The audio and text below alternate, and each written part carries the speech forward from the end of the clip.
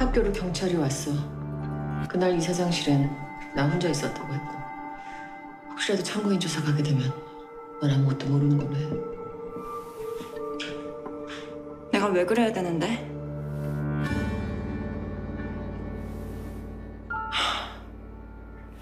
안 그래도 너랑 나 사이 때문에 다들 말들이 많은데 거기 이 일까지 보태서 시끄럽게 할 거 없어. 그러니까 난 여기서 빠지라고.